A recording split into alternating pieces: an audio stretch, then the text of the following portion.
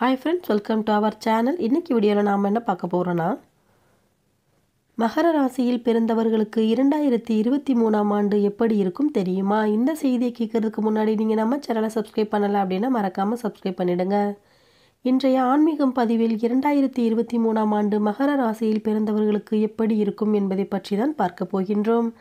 ஜோதிடத்தில் பத்தாவது இடத்தில் இருக்கும் ராசிதான் மகரம். இந்த ராசியில் உத்ராடம் திருவோணம் அவிட்டம் என்று மூணு நட்சத்திரங்கள் இடம்பெறுகின்றன. அதுபோல இந்த ஆண்டு மகர ராசியில் பிறந்தவர்களுக்கு என்ன நன்மைகள் வரப்போகிறது என்று இந்த வீடியோவை பார்த்து தெரிந்து கொள்ளலாம்.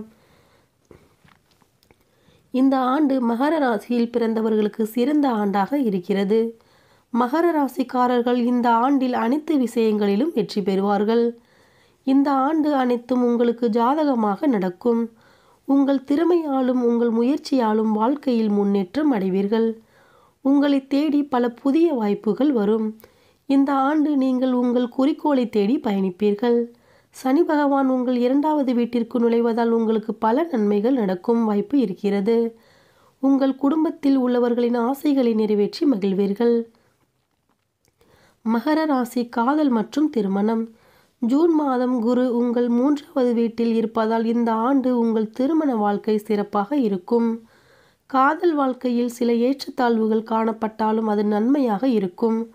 அதுபோல திருமணமான மகர ராசிக்காரர்களுக்கு அவர்களின் திருமண வாழ்க்கை அமோகமாக இருக்கும்.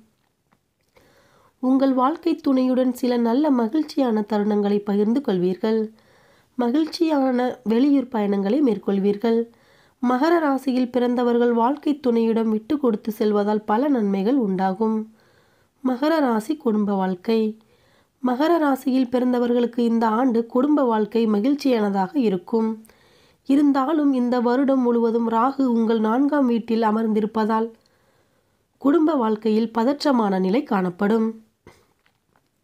இந்த ஆண்டு உங்கள் குடும்ப வாழ்க்கையில் சில பிரச்சனைகள் ஏற்படும் வாய்ப்பு இருப்பதால் நீங்கள் சிந்தித்து செயல்பட வேண்டும்.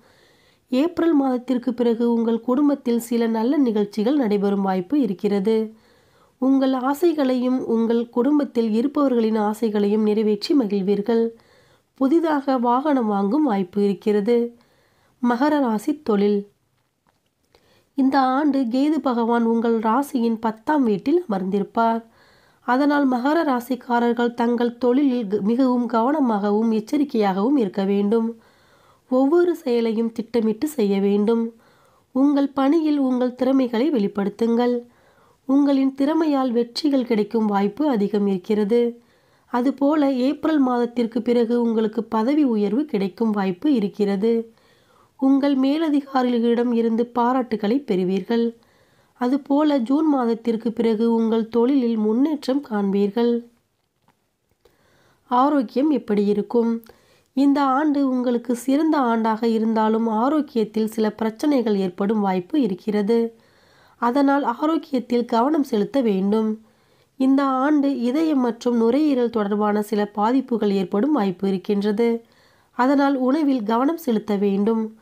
உடற்பயிற்சிகள் செய்வதன் மூலம் ஆரோக்கியம் சிறப்பாக இருக்கும்.